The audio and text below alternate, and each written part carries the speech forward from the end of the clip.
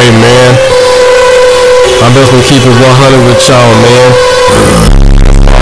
Niggas out there, man. They're saying I ain't the OG, the original. Hey, man. He's a duplicate, huh? He's a duplicate. He's a duplicate. Yeah, he's a duplicate, nigga. He's a duplicate. He's a duplicate, and I'm original motherfucking OG, nigga.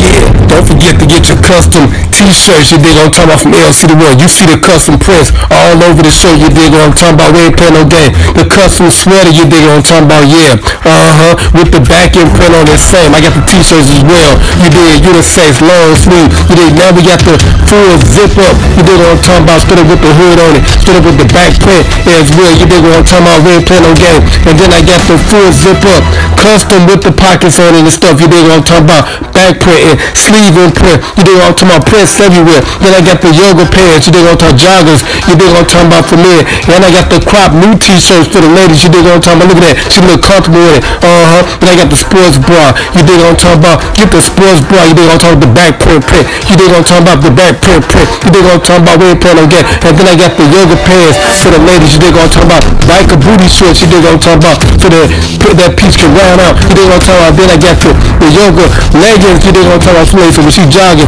and everything, and I got the capris right there with the custom LC right between the thighs. You and I got the, the custom socks, you I'm talking about. You're gonna find them more socks like that nowhere on the planet.